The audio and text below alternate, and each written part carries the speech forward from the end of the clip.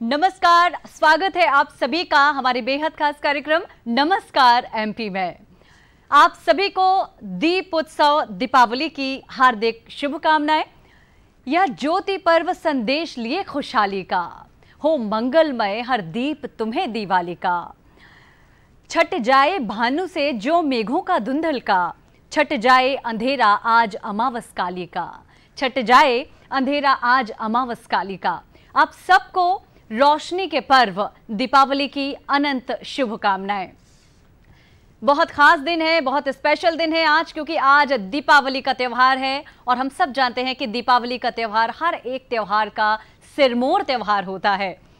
आइए, शुरुआत करते हैं आज की तिथि के साथ। सबसे पहले आज की तिथि ले लेते हैं। हम बता दें कि आज कार्तिक माह के कृष्ण पक्ष की चतुर्दशी तिथि है। 24 अक्टूबर का दिन है 24 अक्टूबर है, दिन सोमवार है और आज दीपावली का मंगल दिन है। आप सभी को अनंत शुभकामनाएँ। एक बार फिर दीपावली की आप सबकी ज़िंदगी में ऊर्जा का नया संचार हो। आप सबकी ज़िंदगी में उमंग, उत्साह और रोशनी के नए दीपक जलते रहें। यही शुभकामनाएँ पूरे दूरदर्शन परिवार की ओर से हम आपको संप्रेषित करते हैं।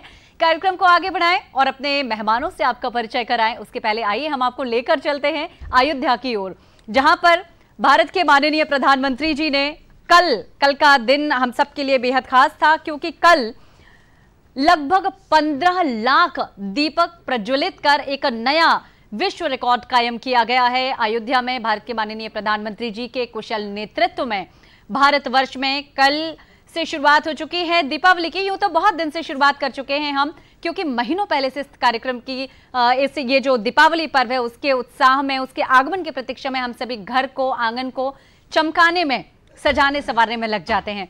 बिना विलंब किए, आइए आप सबको लेकर चलते हैं, हम अयोध्या की ओर देखते हैं। बोलिए, सियावर रामचंद्र की, सियावर रामचंद्र की, सियावर रामचंद्र की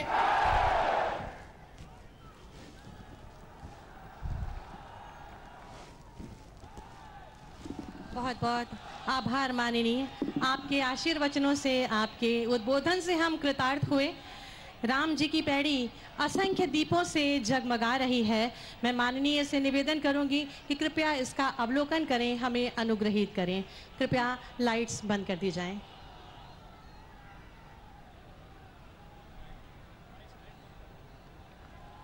कृपया मंच की भी लाइट बंद कर दी जाए। माननीय प्रधानमंत्री जी ने जो कल पंद्रह लाख छिहत्तर हज़ार दीपक प्रज्वलित कर एक विश्व रिकॉर्ड कायम किया है। अयोध्या में पूरे भारत वर्ष में दीपावली के त्यौहार को बेहद धूमधाम से हम सभी ने मनाया। सरयू नदी के तट का एक अद्भुत नज़ारा हम आपको दिखाने का प्रयास कर रहे हैं। इस वक्त आप देख सकते हैं अपने टीवी स्क्रीन पर किस तरह से पूरी अयोध्या जगमगा रही है, दीपों की रोशनी से बड़ा खूबसूरत सा दृश्य आप सबके सामने। आह्लादित कर देने वाले ये दृश्य, निश्चित ही हमारे तन मन में एक नई उमंग, एक नए उत्साह, एक नई ऊर्जा का संचार करते हैं। आहा, अद्भुत नज़ारा है, अद्भुत दृश्य है। देख रहे हैं इस वक्त आप सभी अपने टीवी स्क्रीन पर कैसे दीपक की रोशनी से पूरा अयोध्या जगमगा रहा है। इस अयोध्या में प्रज्वलित दीपक की रोशनी से न सिर्फ़ अयोध्या, बल्कि पूरा भारतवर्ष आलोकित हो रहा है, प्रकाशमान हो रहा है।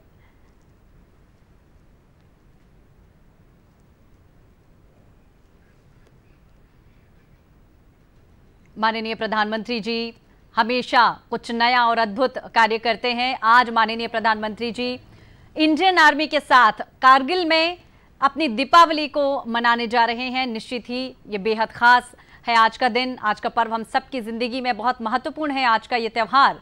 और जहाँ हम सब घरों में बैठकर दीपावली का पर्व मना रहे हैं, वहाँ भारत के माननीय प्रधानमंत्री जी इंडियन आर्मी के बीच में बैठकर कारगिल में जाकर उन फौजियों के साथ में अपनी दीपावली मना रहे हैं।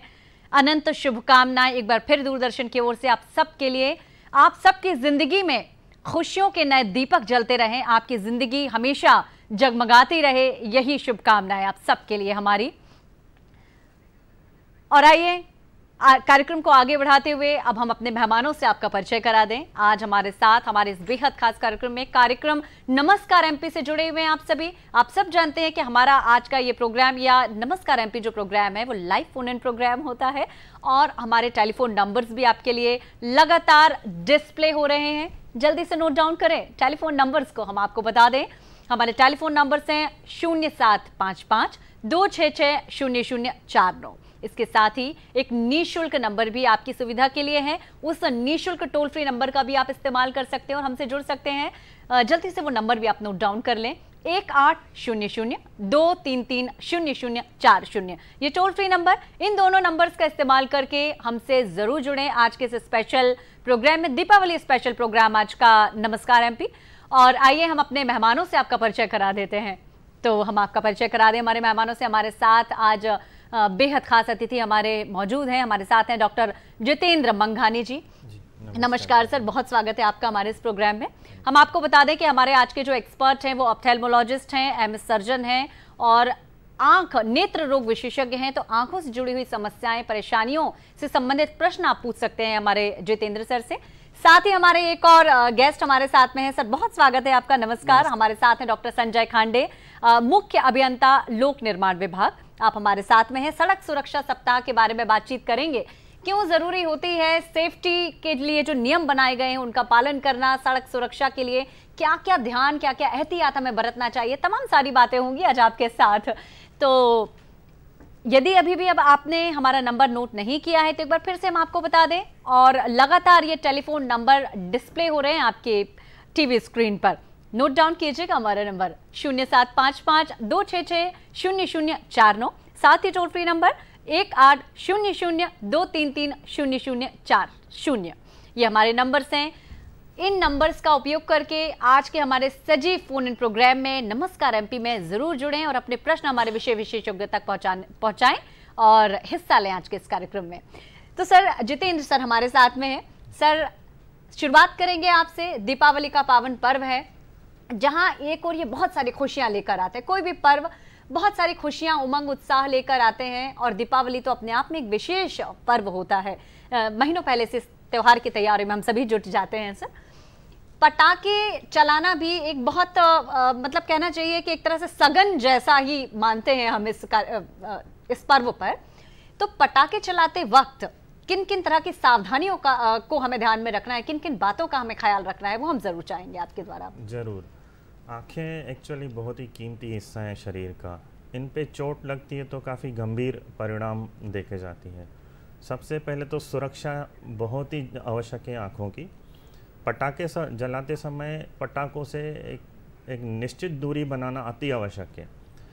कारण क्या है कि पटाखों के द्वारा जो प्रोजेक्टाइल इंजरी होती है कई पटाखों में नीचे गिट्टी लगी रहती है पटाखे के फटने के साथ वो गिट्टी उड़ती है।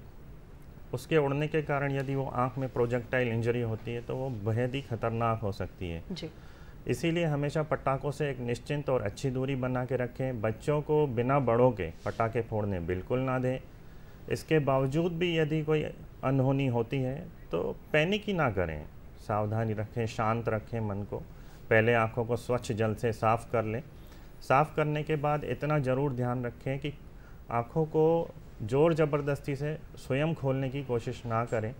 अगर आँखें आराम से खुल रही हैं तो बिल्कुल घर में जो स्वच्छ पानी पीने का उपलब्ध है, उसके द्वारा बहुत ज़्यादा पानी लेके और हल्के से उसको साफ़ कर सकते हैं। इतना ज़रूर ध्यान रखें कि घर का कोई भी घरेलू इलाज आँखों के लिए उपयोग में ना लाएँ।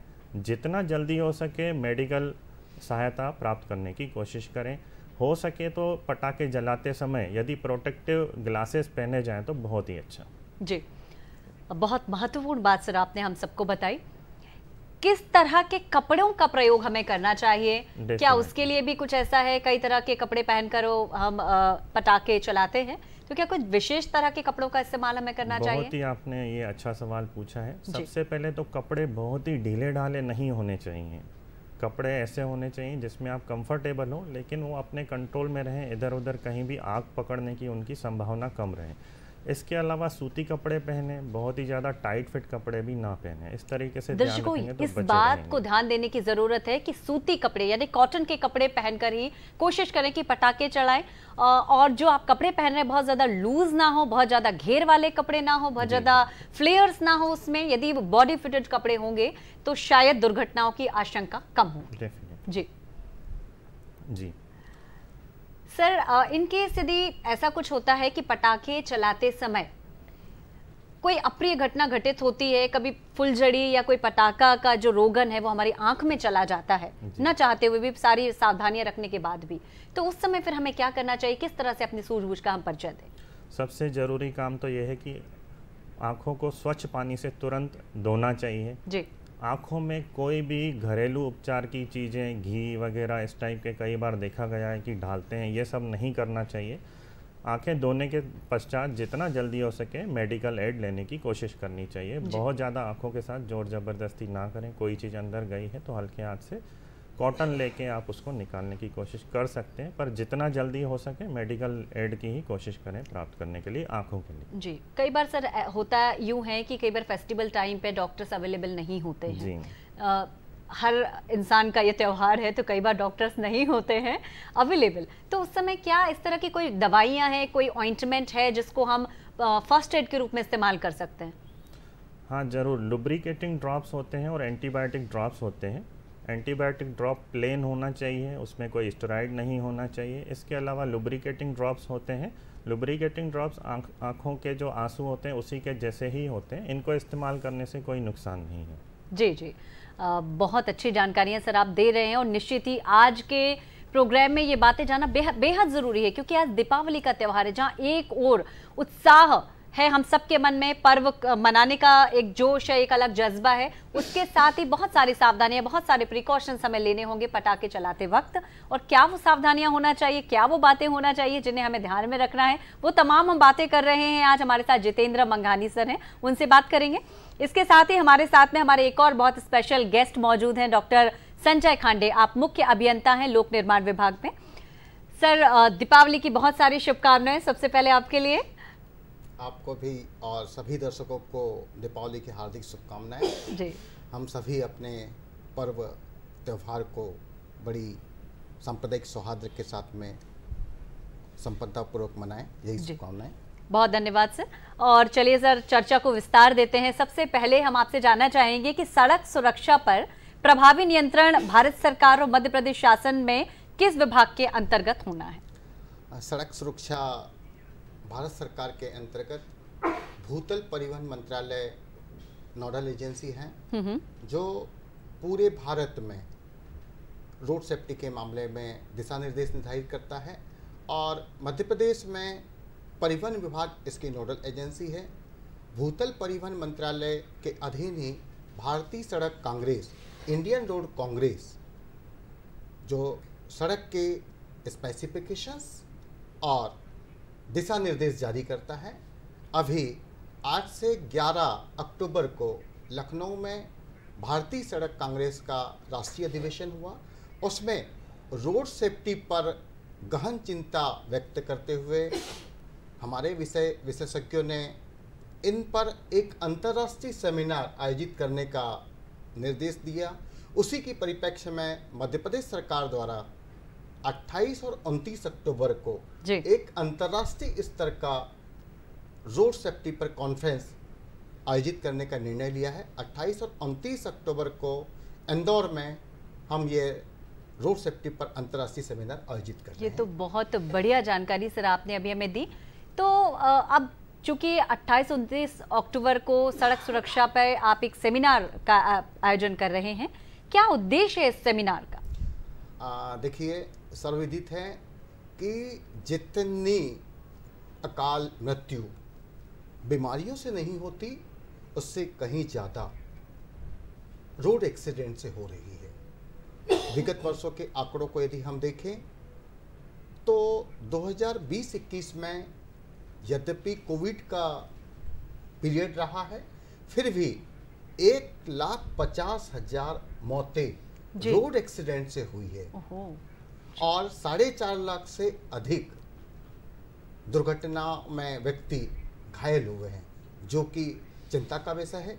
भारत सरकार और सभी राज्य सरकारें इन दुर्घटनाओं में कमी लाने के लिए कृत संकल्पित हैं और एक अंतर्राष्ट्रीय स्तर पर एक पॉलिसी डिसीज़न लिया गया है जिसमें भारत ने और मध्य प्रदेश ने भी 2030 तक ज़ीरो एक्सीडेंट हो और जिसमें किसी प्रकार की कोई मानवीय दुर्घटना न हो, इसके लिए कर संकल्पित है। जी, बहुत महत्वपूर्ण जानकारी सर आपने अभी दी और वाकई इस चीज़ को नोट करने की ज़रूरत है कि अभी सबसे ज़्यादा जो दुर्घटनाएँ हो रही, सबसे ज़्यादा जो मौत हो रही हैं, वो अकाल कहना चाहिए कि जो इस तरह की परेशानियाँ आ रही हैं, वो सड़क दुर्घटनाएँ ही सबसे ज़्यादा हो रही हैं। और वो कहीं ना कहीं हम सभी जिम्मेदार हैं रैश ड्राइविंग करते हैं ड्रिंक करने के बाद में लोग ड्राइव करते हैं और भी तमाम सारी बातें हैं।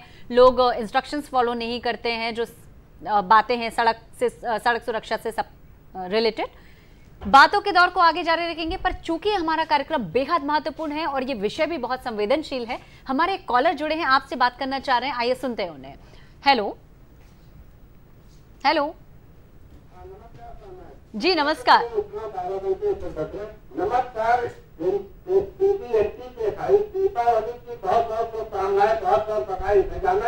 हूँ कि हम लोग गाड़ी रोड पे चलाते हैं तो हमें ये ध्यान देना चाहिए हमारे टायर टायर है। उनकी उम्र नहीं पूरी है पीना चाहिए ऐसा तो नहीं देखे दिन चला रहे व्यक्ति आ जाए किसी से चढ़ जाए तो ये तो हमारी कमजोरियाँ लेकिन जो लोग जो कंपनियाँ सड़क छोड़ देते केबल डाल देती हैं बिजली के बोर्ड रोड पे गाड़ देते हैं अतिक्रमण कर लेते हैं उनके ऊपर विशेष ध्यान देने की ज़रूरत उनसे बहुत बड़ा दुर्घटना होता है। धन स्वरूप जी बाराबंकी उत्तर प्रदेश से आपसे जुड़े और आपसे जानना चाह रहे हैं कि कैसे मिनिमाइज करें इन परेशानियों को? अ, धनस्वरूप जी आपका प्रश्न बड़ा ही वाजिब है और हम सब लोग को इस पर गहन चिंता करनी चाहिए। इसीलिए रोड इंजीनियरिंग पॉलिसीज़ में फोर ईज वर्ड इंट्रोड्यूस किया गया है। फोर ईज का पहला ई है इंजीनियरिंग जिसके लिए जो रोड कंस्ट्रक्शन एजेंसीज हैं वो जिम्मेदार हैं। दूसरा ई है एजुकेशन जो हमारे इंस्टीट्यूशन यूज़र को उपयोगकर्ता को और स्टूडेंट को समाज को आम नागरिक को। तीसरा जो हमारे लॉज हैं उनका इन्फोर्समेंट चूँकि पूरे के पूरे नियम इन्फोर्समेंट के लिए प्रभावशाली हैं परंतु यदि हमारी एजेंसीज उसको लागू करती हैं तो आम जन को और उपयोगकर्ता को परेशानी उठानी पड़ती है। उसके लिए समाज और हम सब जिम्मेदार हैं। हम हमारे छोटे बच्चों को किसी भी परिस्थिति में 18 साल से कम उम्र के आयु को लोगों को वाहन जिसके लिए ड्राइविंग लाइसेंस आवश्यक होता है वो न दें। बिल्कुल। जो ड्राइविंग लाइसेंस की निर्धारित मापदंड हैं उनको पालन करने की ज़िम्मेदारी हम सब की है। चौथा ई इसका बड़ा महत्वपूर्ण क्रिटिकल केयर इमरजेंसी जी। जो एक्सीडेंट होने के पश्चात जो गोल्डन आवर्स होते हैं उनमें हमें प्रॉपर रिस्पांस टाइम मिनिमाइज करके उस दुर्घटना प्रभावित व्यक्ति को हमें सहायता पहुँचा करके स्वास्थ्य सुविधाएँ मुहैया करना। यदि उन गोल्ड आवर में हम यदि उस व्यक्ति को स्वास्थ्य सुविधाएँ मुहैया करते हैं तो हमारे एक्सीडेंट डेथ में आवश्यक कमी आएगी। तो जन जागरूकता और जन सहयोग, इन सभी चीज़ों के लिए हमें अत्यंत आवश्यक है। जन भागीदारी के बिना किसी भी मुहिम को हम पूरा नहीं कर सकते हैं। निश्चित ही हम सबके जागरूक रहने की सतर्क रहने की और संवेदनशील रहने की बेहद ज़रूरत है।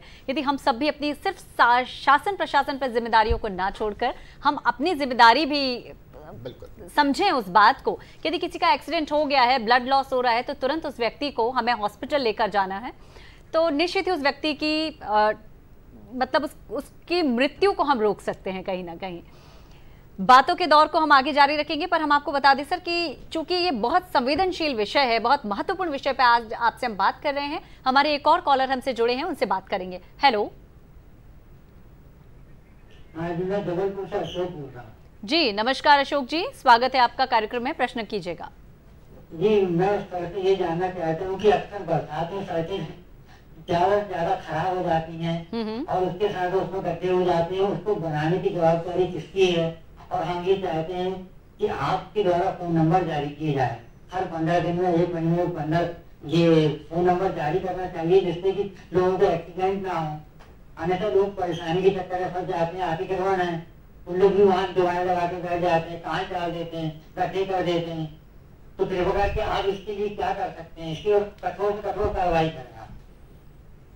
अशोक जी, आपका प्रश्न बिल्कुल ही मौजू है। चूँकि बरसात के समय में जैसा कि आप और हम सभी जानते हैं कि प्रदेश की अधिकांश सड़कें फ्लेक्सिबल पेमेंट मतलब डामर की सड़कें हैं। और डामर और पानी एक दूसरे के दुश्मन हैं। जहाँ पानी का ठहराव होता है, वहाँ पर निश्चित ही सड़क क्षतिग्रस्त होती है। परंतु क्षतिग्रस्त सड़कों को तत्काल मरम्मत करने की ज़िम्मेदारी जो निर्माणकर्ता एजेंसी या संधारणकर्ता एजेंसी हैं, प्रदेश में पाँच एजेंसियाँ रोड सेक्टर में काम कर रही हैं एन है, एनएच है, स्टेट हाईवे का संधारण एम कर रहा है पी का संधारण पंचायत और ग्रामीण विकास कर रहा है, और बाकी सड़कें लोक निर्माण विभाग एवं शहरी क्षेत्र की सड़कें अर्बन विभाग कर रहा है। सभी विभाग अपने स्तर पर कोऑर्डिनेट करके वर्षा ऋतु के तत्काल पश्चात 15 नवंबर तक उन सड़कों के गड्ढे भरने के लिए एक कार्ययोजना बनाती है और उस कार्ययोजना के अनुरूप अपना अपना आईटी सेल के माध्यम से उनका संधान भी करती है और मॉनिटर भी करती है। जी।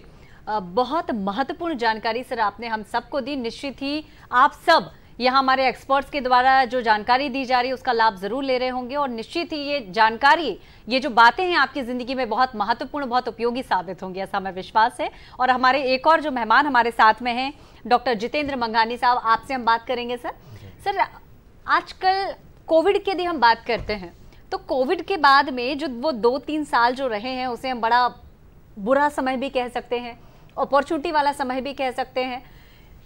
पर सर, जो सबसे ज़्यादा जो परेशानी रही है, वो कहीं ना कहीं हमारे बच्चों को रही है। ऑनलाइन स्टडीज़ के लिए प्रमोट करना पड़ा था। तो ऑनलाइन स्टडीज़ हुई तो उसके बाद में बच्चों की जो नज़दीकियाँ हैं, वो मोबाइल फ़ोन से बहुत ज़्यादा बढ़ गई। मोबाइल और टीवी उनसे न जाने कितनी गहरी उनकी दोस्ती हो गई बच्चों की, जिसका खामियाजा आज भी पेरेंट्स को भुगतना पड़ रहा है। उसकी वजह ये है सर कि उसके कारण बहुत सारे बच्चों में ड्राई आइज़ की प्रॉब्लम आ गई बच्चों में विजन की प्रॉब्लम आ रही है आइज़ तिरछी हो रही हैं। इस तरह की तमाम सारी बातें देखने को मिल रही हैं। कई बार न चाहते हुए भी आँसू बच्चों की आँखों से आ रहे हैं टीयरिंग हो रहे हैं। तो क्या कहेंगे आप इस विषय पे? बहुत ही अच्छा विषय आज आपने उठाया है। जी। कोविड के बाद भी और अभी जिस तरीके से टेक्नोलॉजी का इंटरेक्शन बढ़ा है अपनी डे टू डे लाइफ में अपने सारे कामों में तो निश्चित रूप से मोबाइल का यूज़ बहुत ही ज़्यादा बढ़ गया है सिस्टम का यूज़ बहुत ही ज़्यादा बढ़ गया है। थोड़ी सी समझदारी से यदि अपन इन इन चीज़ों का उपयोग करते हैं तो हम बहुत ही आराम से इन चीज़ों को हैंडल कर सकते हैं। ज़्यादा उपयोग करने से समस्या ये आती है कि आई में स्ट्रेन होने लगता है दूसरा, आई में ड्राइनेस होनी होने लगती है। ये दो जो प्रॉब्लम से बहुत ही ज़्यादा देखे गए हैं कंप्यूटर सिस्टम यूज़ करने से या मोबाइल यूज़ करने से। बेसिकली इन सब चीज़ों से बचने के बहुत ही सिंपल तरीके हैं। सिंपल तरीका सबसे पहले मैं आपको बता देता हूँ, एक फार्मूला होता है ट्वेंटी ट्वेंटी ट्वेंटी इसका मतलब होता है, हर 20 मिनट सिस्टम पे या स्क्रीन पे या मोबाइल पे काम करने के बाद एक छोटा सा 20 सेकंड का ब्रेक लिया जाए। उस ब्रेक में 20 फीट के डिस्टेंस पे अपनी आँखों से किसी भी चीज़ को देखना चाहिए। 20 फीट ना हो तो रूम में जो भी उपलब्ध दूर की चीज़ हो, उसको ज़रूर देखें। इससे दो फ़ायदे होते हैं। एक, जब भी हम कोई नज़दीक की चीज़ देखते हैं, जैसे मोबाइल देखते हैं या सिस्टम पे बैठ के सिस्टम को देखते हैं तो हमारी आँखों को अकोमोडेट करना पड़ता है। जिसमें मसल पावर यूज़ होता है। लगातार मसल पावर बिना रुके यूज़ करेंगे तो डेफिनेटली थकावट होगी मसल की एनर्जी लूज़ होगी। इसी के कारण आई स्ट्रेन होता है। वो आई स्ट्रेन से बचने के लिए 20 मिनट के बाद 20 सेकंड की ब्रेक लेके दूसरी चीज़ जो दूरी पे है 20 फीट के डिस्टेंस पे या उससे अधिक या कम पे है तो उसको देखेंगे तो वो स्ट्रेन अपना फटीक जो है आँखों का मसल्स का वो कम हो जाएगा। इसके अलावा जब हम सिस्टम को यूज़ करते हैं या मोबाइल को यूज़ करते हैं तो हमारी आँखों की जो ब्लिंक रेट है जो नॉर्मली एक मिनट में 16 से 20 बार अपनी आँखें ब्लिंक करती हैं फड़कती हैं वो ब्लिंक रेट छः से सात बार ही रह जाती है। इसका मतलब ये है कि हमारी आँखों का ब्लिंक रेट किसी भी सिस्टम को या मोबाइल को यूज़ करते समय एक तिहाई वन थर्ड हो जाता है। जी। उसका नुकसान ये होता है कि आँखों में जो टीयर्स बन रहे हैं, जो कि एक लुब्रिकेशन का और इलेक्ट्रोलाइट्स का और अन्य चीज़ों का सप्लाई करते हैं अपनी आँख की पुतली को, कॉर्निया को।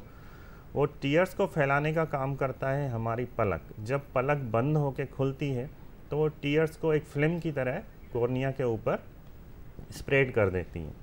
और ये यदि टीयर्स वन टीयर्स के जो स्प्रेडेशन है, सिस्टम और मोबाइल यूज़ करते समय वन थर्ड हो जाता है तो ये कई समस्याओं को प्रोड्यूस करता है, जिसमें से एक बहुत ही कॉमन समस्या है ड्राई आइस तो इससे बचने के लिए हमको 20 20 20 फार्मूला यूज़ करना चाहिए। इसके अलावा ड्राइनेस के लिए हमको ड्राई आई सिंड्रोम के लिए जो लुब्रिकेटिंग ड्रॉप्स आते हैं, जिनको टीयर सब्सटीट्यूट्स भी बोल सकते हैं, वो भी डाले जा सकते हैं फ्रीक्वेंटली डाले जा सकते हैं। इनका कोई साइड इफ़ेक्ट्स नहीं होता है डॉक्टर की सलाह से इनका उपयोग किया जा सकता है।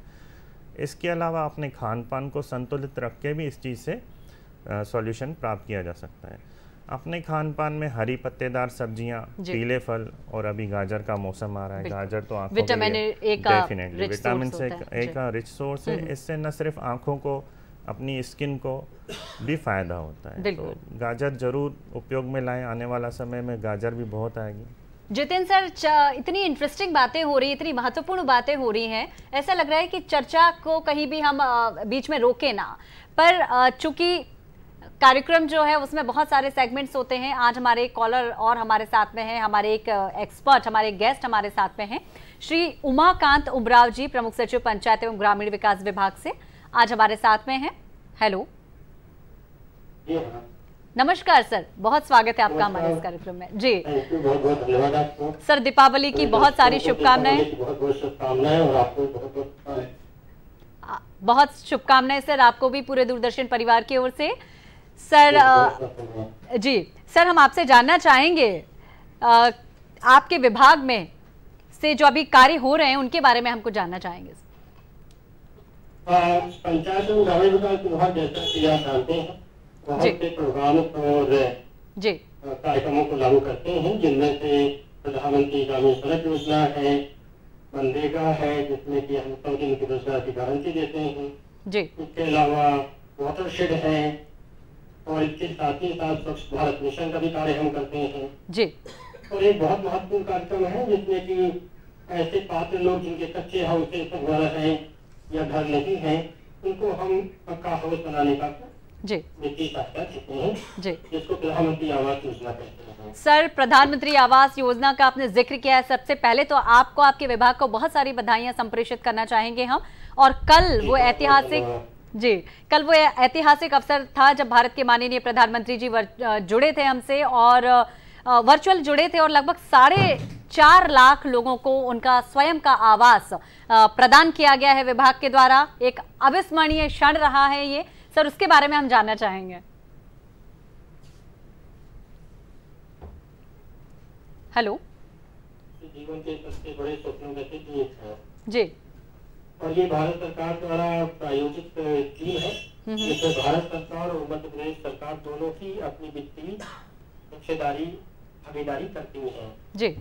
ये स्कीम कुल मिला के हर व्यक्ति को जो पात्र है एक लाख बीस हज़ार हम लोग आवास योजना के अंतर्गत देते हैं जिसमें सात प्रतिशत राशि केंद्र सरकार और चालीस प्रतिशत राशि राज्य सरकार वहन करती है। इसके अलावा उनकी पात्रता के अनुसार एक शौचालय का भी अनुदान दिया जाता है जो लगभग बारह हज़ार रुपये का रहता है।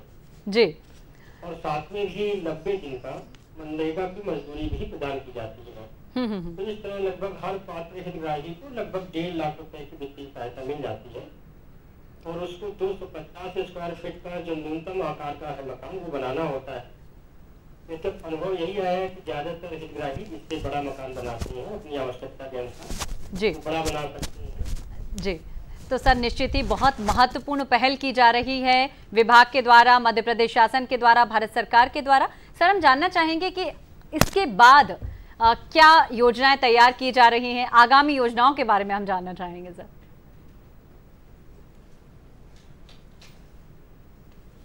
हमारे साथ फ़ोन लाइन पर जुड़े हुए हैं श्री उमाकांत उमराव प्रमुख सचिव पंचायत एवं ग्रामीण विकास विभाग। आपसे शायद हमारा संपर्क टूट गया है। आपसे जुड़ने का पुनः प्रयास करेंगे। दीपावली का शुभ दिन है आज। आप सबकी ज़िंदगी में खुशियों के दीप जलते रहें। आपकी ज़िंदगी जगमगाती रहे खुशियों से, नई उम्मीदों से, नई रोशनी से। ये शुभकामनाएँ। और आइए दीपावली पर एक प्यारा सा, एक सुंदर सा गीत आप तक पहुँचाने का ये प्रयास, दूरदर्शन का। आइए मिलकर एंजॉय करते हैं ये गीत।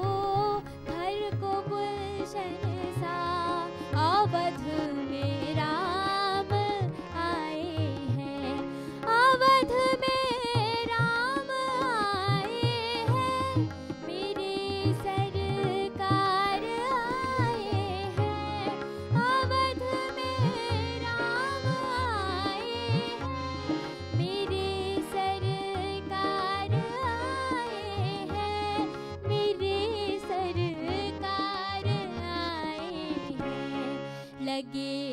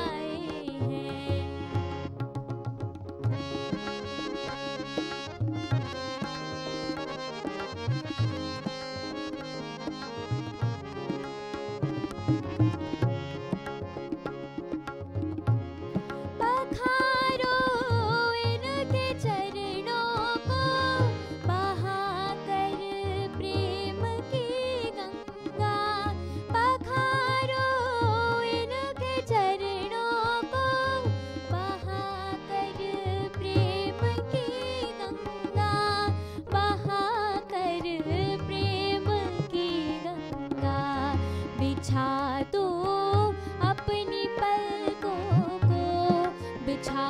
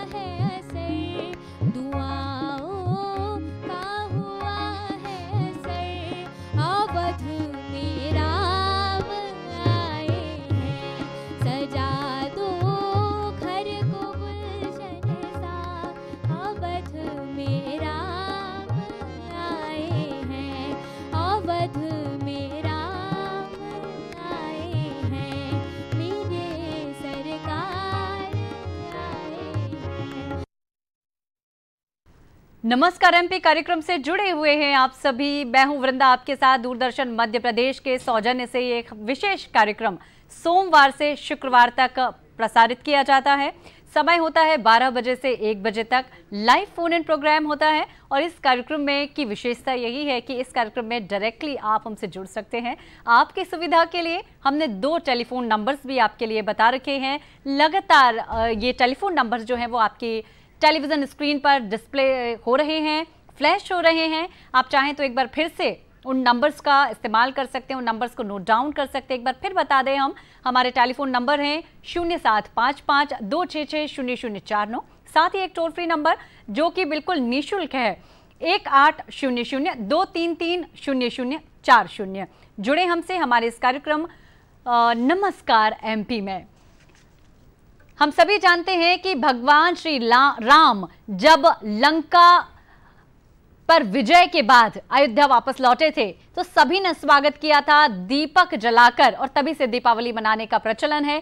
यदि बात करते हैं हम जैन धर्म की तो जैन धर्म के 24वें जैन मत के 24वें तीर्थंकर भगवान महावीर को आज ही के दिन दीपावली के दिन निर्वाण प्राप्त हुआ था इसीलिए दीपावली का जो पर्व है, वो जैनों के लिए भी बड़ा महत्वपूर्ण होता है। सिख संप्रदाय के लिए भी आज का पर्व बेहद महत्वपूर्ण होता है। क्यों है सिख संप्रदाय के लिए आज का पर्व महत्वपूर्ण? इसकी जानकारी भी हम आपके साथ साझा करेंगे कुछ ही लम्हों के पश्चात। उसके पहले आपको बता दें कि हमारे साथ हमारे एक और बहुत खास मेहमान हमारे इस प्रोग्राम में जुड़ चुके हैं। आइए स्वागत करते हैं और परिचय करा देते हैं हमारे उन मेहमान से आपका। हमारे साथ हैं स्टूडियोज में पंडित विनोद गौतम जी, ज्योतिषाचार्य हैं आप। बहुत स्वागत है। नमस्कार पंडित जी। सबसे पहले दीपावली पर्व की अनंत शुभकामनाएँ संप्रेषित करेंगे हम आपके लिए। पंडित जी, जानना चाहेंगे दीपावली का आज पर्व है तो क्या शुभ मुहूर्त रहेंगे? पूजा की यदि हम बात करते हैं, लक्ष्मी पूजन के लिए शुभ मुहूर्त जानना चाहेंगे। दीपावली का पर्व, व्रत, त्योहार की श्रेणी में तो आता ही है, ये एक उत्सव भी है। तो व्रत पर्व और उत्सव ये तीनों के श्रेणियों में है, इसलिए सभी जगह इसकी मान्यता है और सनातन धर्मावलंबी भी। जब माता लक्ष्मी को प्रसन्न करने के लिए तरह तरह से नैवेद्य, पूजा इत्यादि पद्धतियों का आवरण करते हुए और पूरे समय पर अमावस्या की रात्रि में जो जिस प्रकार से पूजा करता है, जो गृहस्थ है, कोई दुकानदार है, कोई तांत्रिक हैं, वो अपने अपने अनुसार पूजा का मुहूर्त लेते हैं। पूजा में मुहूर्त हमारे कार्यों को बल प्रदान करता है। जब हम कोई भी कार्य मुहूर्त से करते हैं तो निश्चित तौर पर उसका जो फल है और हज़ारों गुना बढ़ जाता है। ऐसे में वैसे लक्ष्मी पूजा के बारे में अगर बात करें तो लक्ष्मी पूजा का जो प्रमुख मुहूर्त होता है या पूजा के लिए जो प्रमुख काल होता है वो होता है प्रदोष काल। गोधूली बेला भी कह सकते हैं छः बजे के आसपास का समय होता है और इस समय से अमावस्या तिथि भी प्रारंभ हो चुकी होती है। इसके पूर्व जो प्रतिष्ठान वगैरह हैं इसमें अभिजीत काल के लिए किसी भी अमावस्या की दीपावली में अभिजीत काल के लिए जो व्यापारी वर्ग हैं उसका इंतज़ार करते हैं। और जो साधक वर्ग हैं, जो महालक्ष्मी की साधना करते हैं, जो संकल्प करते हैं, जो व्रत रहते हैं इस दिन तो व्रतधारी लोग पूजा प्रारंभ सुबह से ही उनकी हो जाती है। जिस दिन दीपावली होती है, उस दिन सुबह से ही वो ब्रह्म मुहूर्त में संकल्प करते हैं पूजा का और व्रत का संकल्प करते हुए पूरे दिन व्रत रहते हैं। और दोपहर को व्यापारी लोग और शाम को समय जो गृहस्थ लोग हैं वो पूजा पाठ के लिए जो प्रदोष काल का जो मुहूर्त है, गोधूली बेला का मुहूर्त है, उसके बाद पूजा प्रारंभ कर देते हैं। और लक्ष्मी जी का की चूँकि पूजा आधे घंटे में भी हो जाती है, घंटे में भी, दो घंटे में, चार घंटे में भी होती है, लगातार इनकी पूजा अर्चना करते रहते हैं सपरिवार के साथ में। साथ ही जो तांत्रिक लोग हैं, जो अपने मंत्र सिद्धि या मंत्र शक्ति को पुनर्जागृत करते हैं, उसको दोहराते हैं या जिनको नए मंत्र का ज्ञान देना है, ऐसे गुरु जो तंत्र सिद्धि के लिए मंत्र शक्ति का और सिद्धि का बार बार पुनरुच्चारण करवाते हैं और उसकी लय, ताल, तरंगें इत्यादि बताते हैं, उसके लिए शाम का समय महानिशाल का काल का होता है, जो 12 बजे के आसपास होता है। ये लक्ष्मी पूजन के चार प्रमुख काल होते हैं और इन्हीं को मुहूर्तों में बांटा जाता है। वैसे भी शुभ का चौघड़िया और अमृत और चर इत्यादि लाभ का चौघड़िया देख करके भी हमको पूजन इत्यादि कर लेना चाहिए।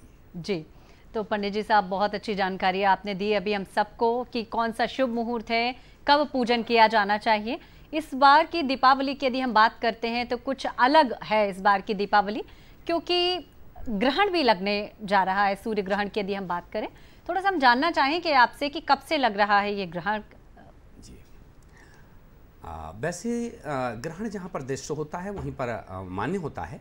और दीपावली की अमावस्या की जो पूजा है वो आज तो की प्रदोष काल से प्रारंभ हो जाएगी और जिस समय पर ग्रहण का सूतक लगना है, उस समय पर चारों कर प्रहर की पूजा समाप्त हो जाएगी।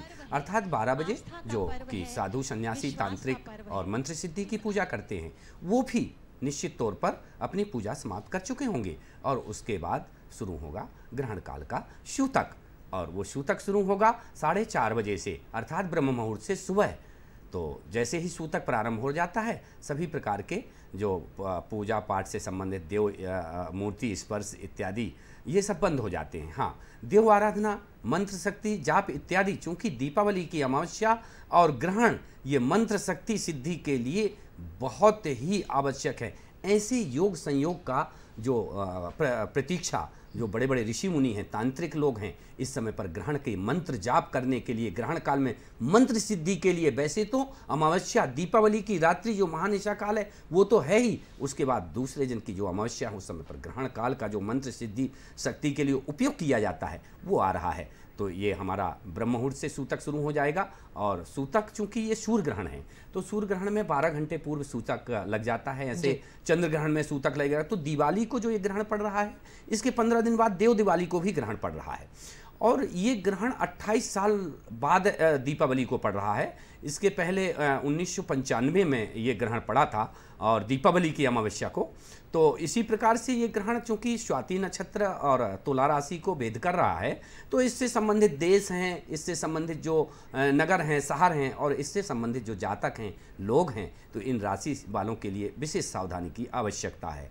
और हालाँकि दीपावली के इस व्रत उत्सव और त्यौहार में किसी भी प्रकार की कोई विघ्न बाधा नहीं आ रही है, ग्रहण एक दृश्य पर्व है। हाँ ये ज़रूर है कि ग्रहण के समय पर जो नेगेटिव एनर्जी निकलती है कुछ हमारी जो वास्तविक सूर्य से, से जो ऊर्जाएँ निकलती हैं वो कुछ समय के लिए अवरुद्ध हो जाती हैं। ऐसे में साढ़े चार बजे शाम से ये ग्रहण लगेगा और ये ग्रस्तात् ही समाप्त होगा। अर्थात हाँ जब सूर्य ग्रस्त होगा उस समय पर ही सूर्य अस्त हो जाएगा। तो ऐसे में पूरे समय पर देखा जाए तो पूरे दिन मंदिरों में पट बंद रहेंगे मूर्ति स्पर्श नहीं कर सकते हैं। हाँ ये ज़रूर है कि हम अ, अ, इस समय पर भजन कीर्तन और मंत्र सिद्धि शक्ति के जाप अवश्य कर सकते हैं। बहुत महत्वपूर्ण जानकारी पंडित जी अभी आपने दी। क्या प्रभाव पड़ेगा? किन किन राशियों के लिए भारी पड़ेगा ये सूर्य ग्रहण उसके बारे में भी हम आपसे जानना चाहेंगे। कुछ समय के बाद और चर्चा के इस दौर को हम आगे बढ़ाएँगे उसके पहले हम हम बता दें कि हमारे साथ में डॉक्टर जितेंद्र मंघानी जी भी हैं। सर आपसे एक सवाल हम जानना चाहेंगे। कॉर्निया ट्रांसप्लांट की यदि हम बात करते हैं तो कई बार बहुत लोग ऐसे होते हैं जो बचपन से मतलब जन्म से ही अंधत्व का शिकार होते हैं जन्म से ही देख नहीं पाते हैं। तो क्या कॉर्निया ट्रांसप्लांट करने के बाद में अ, कोई व्यक्ति एक बार फिर से देखने लायक बन सकता है? बहुत ही महत्वपूर्ण सवाल है आपका। बेसिकली यदि अंधत्व कॉर्निया की किसी समस्या के कारण है चाहे वो अनुवांशिक हो चाहे इंजरी के कारण हुई हो या किसी इन्फेक्शन के कारण कॉर्निया में सफ़ेदी आ गई हो जिसके कारण कि उनको कम दिखाई देता हो या एकदम ही धुंधला दिखाई देता हो, ऐसी कंडीशंस में उनकी स्थिति देखते हुए कॉर्निया ट्रांसप्लांट करने से यदि कॉर्निया के अलावा बाकी आँख के स्ट्रक्चर सही हैं, जैसे रेटिना हुआ, आँख की नस हुई, जिसको ऑप्टिक नर्व बोलते हैं, वो सारी चीज़ें यदि ठीक हैं तो डेफिनेटली कॉर्निया ट्रांसप्लांट करने के बाद उनको आँख की रोशनी आने की संभावना है। लेकिन यदि आँख की नस में कोई समस्या है, आँख के पर्दे में कोई समस्या है तो चांसेस उसी के ऊपर डिपेंड करते हैं कि आँख के पीछे का हिस्सा जिसको रेटिना या आँख की नस ऑप्टिक नर्व बोलते हैं उनके ऊपर डिपेंड करता है कि कॉर्निया ट्रांसप्लांट के बाद रोशनी आएगी या नहीं आएगी। जी। सर ऑप्टिक नर्व का आपने ज़िक्र किया है तो आपसे हम जानना चाहेंगे कि कई बार ऐसा भी सुनने में आता है कि ऑप्टिक नर्व में स्वेलिंग हो गई। तो ऑप्टिक नर्व में स्वेलिंग होने की क्या वजह हो सकती है? डेफिनेटली। ऑप्टिक नर्व अपने शरीर का या आँख का वो हिस्सा है, जो आँख में बनी हुई रेटिना पे जो इमेज है, उसको मस्तिष्क तक ब्रेन तक ले जाती है। फिर ब्रेन उसके एनालिसिस करके ये पता लगाता है कि हम क्या देख रहे हैं, हमें क्या दिख रहा है। तो ये जो कनेक्शन है आँख का और ब्रेन का, इस नर्व के द्वारा होता है, इसको बोलते हैं ऑप्टिक नर्व जी। ऑप्टिक नर्व में सूजन ये दो कारणों से यूजुअली हो सकती है। एक तो लोकल काज जो आँख से संबंधित काज हो सकते हैं और दूसरा ब्रेन का काज जैसा कि हम लोग जानते हैं कि आँखें जो हैं एक शरीर का विंडो है। वो देखने वाले के लिए भी और चिकित्सक के लिए भी एक विंडो जैसा काम करता है। जी। यदि चिकित्सक उस आँख से देखे तो उसको आँख के अलावा आँख देखने के बाद पूरे शरीर के बारे में भी कई जानकारियाँ प्राप्त हो जाती हैं। उनमें से एक है आँख के नस का सूजन होना। आँख की नस की सूजन ब्रेन में यदि कोई ट्यूमर है ब्रेन में कोई इंट्राक्रेनियल हीमरेज हुआ है ब्रेन का प्रेशर जिसको इंट्राक्रेनियल टेंशन बोलते हैं वो यदि बढ़ जाता है तो अमूमन दोनों आँखों की नसों में सूजन आ जाती है। उसको देख के अंदाज़ा लगाया जा सकता है कि ब्रेन में सूजन होने होने के चांसेस हैं। सर आपने जैसे कि बताया कि ब्रेन में यदि ट्यूमर हो गया तो वो भी ऑप्टिक नर्व में स्वेलिंग का एक कारण बनता जी है। बिल्कुल। इसके अलावा भी क्या कोई वजह हो सकती हैं? हाँ डेफिनेटली हो सकती हैं। जैसा मैंने पहले ही आपको बताया कि लोकल कॉजेज भी हो सकते हैं। इनफैक्ट ऑप्टिक नर्व का यदि कोई ट्यूमर है ऑप्टिक नर्व में इन्फ्लामेशन है किसी आँख के इन्फेक्शन के कारण यूवीआइटिस के कारण पेपिलाइटिस के कारण भी उसमें सूजन आ सकती है। इसके अलावा एक बहुत ही महत्वपूर्ण चीज़ है जिसको हम लोग बोलते हैं एसिलरेटेड हाइपरटेंशन जी। अचानक से ब्लड प्रेशर बढ़ने के कारण भी कई बार आँख की नस में सूजन आ जाती है। जी। तो इसको बोलते हैं एसिलरेटेड हाइपरटेंशन के कारण आँख के हेड में नर्व के हेड में सूजन आना। ओके। तो सर हाइपरटेंशन एसिलरेटेड हाइपरटेंशन का आपने ज़िक्र किया था। हाइपरटेंशन या ब्लड प्रेशर बढ़ने के कारण किस तरह से हमारी आईज डैमेज हो सकती हैं या हम शुगर की बात करते हैं तो कई बार शुगर लेवल बढ़ने के कारण भी डायबिटीज़ जो होती है प्रॉब्लम डायबिटीज़ के कारण भी कई बार आईज हमारी डैमेज हो जाती हैं। तो किस तरह से क्या असर पड़ता है ये बढ़ी हुई शुगर का डायबिटीज़ के कारण कैसे हमारी आईज अफेक्टेड होती हैं? देखिए, दोनों ये लाइफ स्टाइल डिजीज़ेज़ हैं डायबिटीज़ मेलाइटस डायबिटीज़ और ब्लड प्रेशर इन दोनों के बढ़ने के कारण यदि दोनों अनकंट्रोल्ड रहें, ध्यान से अपन उनका इलाज ना कराएँ या इलाज लें और आधे में छोड़ दें, इसके कारण आँख का जो रेटिना होता है, उसमें बहुत ही ज़्यादा प्रॉब्लम्स आना शुरू हो जाती हैं। इसके अलावा अनकंट्रोल्ड डायबिटीज़ ब्लड प्रेशर के कारण आँख का जो मैकुला होता है, जो कि आँख के 90 परसेंट विज़न के लिए कारगर होता है, उसमें सूजन आ जाती है। तो डायबिटीज़ और ब्लड प्रेशर के कारण कारण यदि मैकुला में सूजन आती है तो ये आँख की रोशनी को बहुत ही ज़्यादा क्षति पहुँचाता है। अगर इसका इलाज समय पे ना किया जाए तो ये परमानेंट क्षति भी हो सकती है, जिसको रिवर्स करना कई बार मुश्किल हो जाता है। समय पे यदि इस सूजन का इलाज कर दिया जाए, डायबिटीज़ और ब्लड प्रेशर कंट्रोल कर दिया जाए तो कुछ इंजेक्शंस दवाइयों द्वारा हम उस सूजन को कम कर सकते हैं। लेकिन यदि वो समय निकल गया तो वो बहुत ही क्रिटिकल होता है। ब्लड प्रेशर कंट्रोल नहीं किया डायबिटीज़ कंट्रोल नहीं किया तो वो सूजन कई बार कुछ हद तक परमानेंट भी रह जाती है जिसके कारण रोशनी में इजाफा उतना नहीं मिल पाता है। इसके अलावा ब्लड प्रेशर यदि बहुत ज़्यादा है तो आँख के रेटिना की कई बार जो ब्लड वेसल्स हैं वो भी पंक्चर हो जाती हैं जिसके कारण आँख के अंदर भी ब्लड आ जाता है। वो ब्लड आने के कारण भी रोशनी अचानक से जा चली जाती है। यानी ये बहुत ज़रूरी हो जाता है कि यदि आपको भी डायबिटीज़ है तो आप अपनी सेहत का विशेष ख्याल रखें।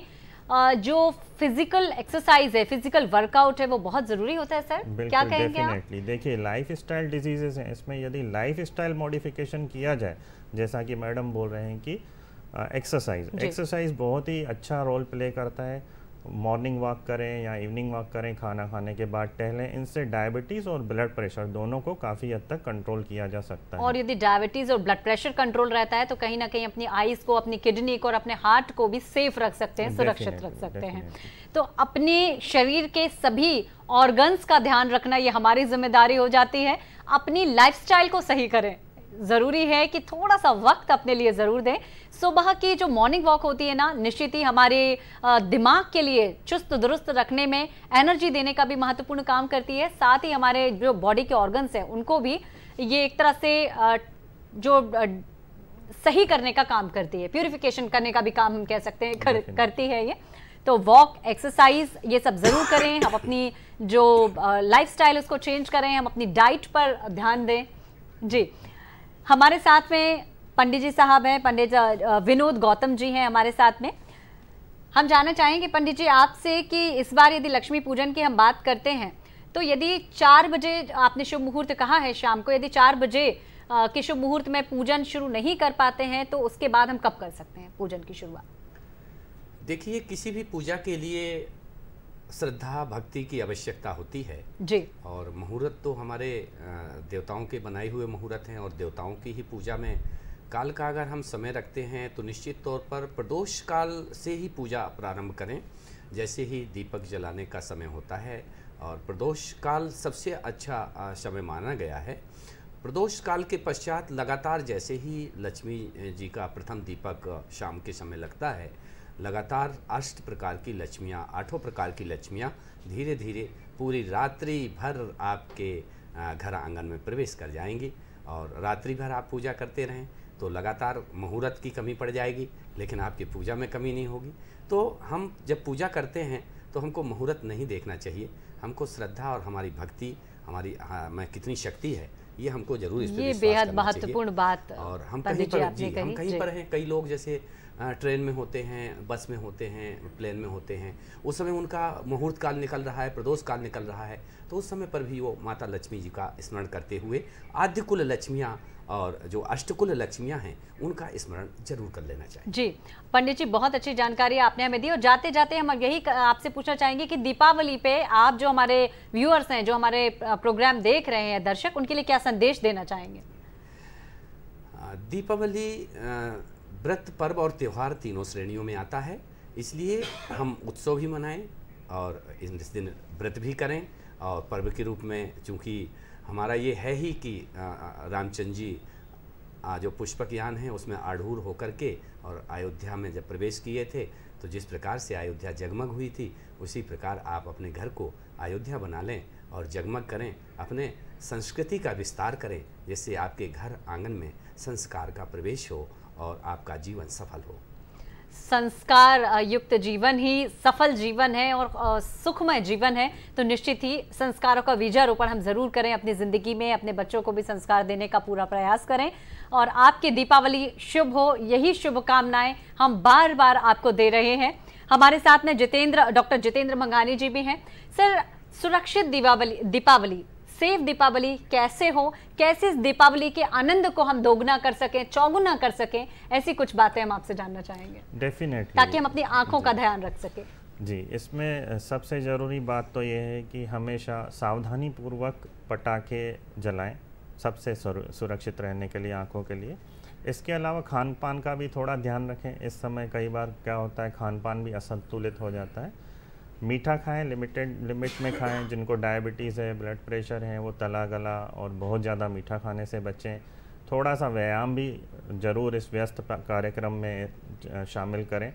इस प्रकार से फलों को भी शामिल करें। अभी ये सीज़न आया है, बहुत सारे नए फल भी आना शुरू होते हैं इसी समय पे भी। उनका भी ज़रूर अपन अपनी दिनचर्या में शामिल करें। जी। तो सर, बहुत महत्वपूर्ण जानकारी अभी आपने हम हम तक पहुंचाई। और निश्चित ही ये जानकारियाँ जो हैं, हम सबकी ज़िंदगी में एक नया सवेरा, नया प्रकाश लाने का कोशिश करेंगी। आप हमारे स्टूडियोज़ में आए, उसके लिए बहुत धन्यवाद, बहुत आभार। हमारे साथ थे स्टूडियोज़ में पंडित विनोद गौतम जी, ज्योतिषाचार्य साथ ही डॉक्टर जितेंद्र मंघानी जी, ऑप्थेल्मोलॉजिस्ट। आज आप दोनों मेहमान हमारे साथ हमारे स्टूडियोज में थे। इसके पूर्व हमसे जुड़े हुए थे डॉक्टर संजय खांडे, मुख्य अभियंता, लोक निर्माण विभाग। हमारे इन सभी मेहमानों का बहुत बहुत धन्यवाद। आभार, आप हमारे स्टूडियोज में आए, आपने हमें वक्त दिया। बहुत धन्यवाद। और कार्यक्रम नमस्कार एमपी से जुड़े हुए हैं। आप सभी इस कार्यक्रम से जुड़े रहें। इस कार्यक्रम का सजीव प्रसारण सोमवार से शुक्रवार 12 बजे से 1 बजे तक किया जाता है। साथ ही शाम को 8 बजे भी इस कार्यक्रम का रिपीट टेलीकास्ट किया जाता है। चलते चलते अखबार की कुछ सुर्खियाँ आप तक पहुँचाने का प्रयास करेंगे। प्रयास करेंगे। उन सभी जानकारियों को, उन सभी सुर्खियों को आप तक पहुँचाने का। यदि आज अभी आपने न्यूज़पेपर पलट कर नहीं देखा है टेलीविज़न खोलकर नहीं देखा है तो ये हमारा प्रयास है कि आप तक हम कुछ जानकारी, कुछ सुर्खियाँ पहुँचाने का प्रयास करें।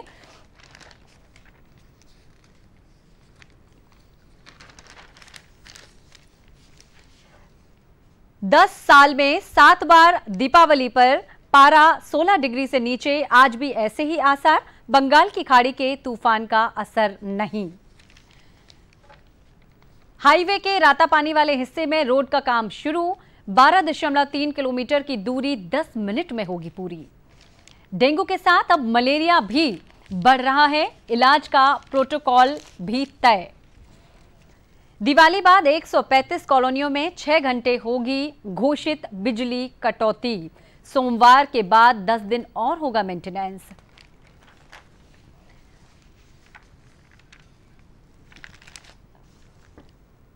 तीन हज़ार सात सौ चौरानवे रन के साथ विराट इंटरनेशनल टी ट्वेंटी में सबसे ज़्यादा रन बनाने वाले खिलाड़ी बने। भारत के लिए एक विशेष दिन था, कल का दिन। पाकिस्तान के खिलाफ विराट के अतिशी अर्धशतक से टीम इंडिया की दिवाली। अयोध्या में दीपोत्सव। साढ़े पंद्रह लाख दियों का गिनीज रिकॉर्ड। मोदी बोले श्री राम के वचन से ही मिली है सबका साथ, सबका विकास की प्रेरणा। अयोध्या में दीपावली की पूर्व संध्या पर दीपोत्सव मनाया गया। साढ़े पंद्रह लाख दिए प्रज्वलित किए गए। यह गिनीज रिकॉर्ड है और इस अवसर पर प्रधानमंत्री नरेंद्र मोदी ने कहा, राम के वचनों, विचारों और शासन ने जिन मूल्यों को गढ़ा है, वे ही सबका साथ, सबका विकास की प्रेरणा है। ओरछा में देश का इकलौता मंदिर दिन भर यहाँ राजपाठ संभालने के बाद हर शाम अयोध्या को, हर शाम अयोध्या को विदा लेते हैं श्री राम 448 वर्ष से चली आ रही है परंपरा। इस मंदिर में राम ही राजा हैं और दिन में पाँच बार सशस्त्र बल देते हैं उन्हें सलामी। पाँच साल में बनी नेकी की एक सौ बहत्तर दीवार। एक लाख से ज़्यादा दानदाता जुड़े। हर साल नौ लाख जरूरतमंद मंदों को मिला ज़रूरत का सामान। ग्रामीण स्वच्छता का नेक्स्ट लेवल। गाँव के घरों के गीले कचरे से जैविक खाद बनाकर खेती में करेंगे इस्तेमाल जिम्मा महिलाओं को। तो आज के कार्यक्रम नमस्कार एमपी में इतना ही। अगले अंक में बहुत सारी जानकारियों के साथ और कुछ नए विषयों को लेकर आपसे जल्द होगी मुलाकात। तब तक के लिए बने रहे हमारे साथ, सुनते रहे दूरदर्शन मध्य प्रदेश, देखते रहे दूरदर्शन मध्य प्रदेश। आज कार्यक्रम इतना ही। मुझे, यानी वृंदा प्रधान अजमेरा को पूरे दूरदर्शन टीम की ओर से दीजिएगा इजाज़त। आप सभी को दीपोत्सव पर्व की, दीपावली की ढेर सारी शुभकामनाएँ। नमस्कार।